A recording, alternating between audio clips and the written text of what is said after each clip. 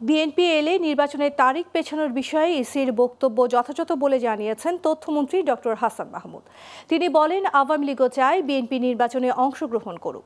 মঙ্গলবার সচিবালয়ে একটি বইয়ের মোড়ক উন্মোচন শেষে সাংবাদিকদের তিনি এসব কথা বলেন। বিস্তারিত জানাচ্ছেন আলামিন এম তাফিদ।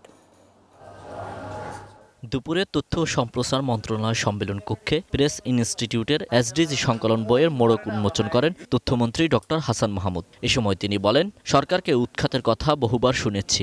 বিএনপির এসব ঘোষণা এখন হাস্যকর ছাড়া কিছুই নয়। এই টেরোরিস্ট কর্মকাণ্ড থেকে তারা বেরিয়ে আসুক, তারা সুস্থ রাজনীতির পথে হাঁটুক, নির্বাচনে অংশগ্রহণ করুক, সেটি সেটি আমরাও চাই। এই কর্মসূচি দিয়ে নিজেদেরকে হাস্যস্বর করছে আমি বুঝি না কারা এই সিদ্ধান্তগুলো দেয়। এই সমস্ত কর্মসূচি দিয়ে কেউ মানছে না তাদেরকে বুড়ো আঙ্গুল দেখিয়ে দিচ্ছে। নির্বাচনের তফসিল পেছানোর বিষয়ে সাংবাদিকদের এক প্রশ্নের জবাবে তিনি বলেন আওয়ামী লীগও চায় বিএনপি নির্বাচনে আসুক আর ইসির কথাও যথার্থ।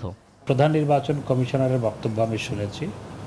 আমি মনে মনে করি তিনি যথার্থ বলেছেন যে নির্বাচনের তারিখ ঠিক রেখে যদি বিএনপি নির্বাচনে আসার ঘোষণা দেয় তাহলে সেখানে নমিনেশন বা সাবমিশন সহ অন্যান্য যেই তারিখগুলো আছে সেগুলোকে রিশিডিউল করা হবে কিন্তু নির্বাচনের তারিখ ঠিক থাকবে।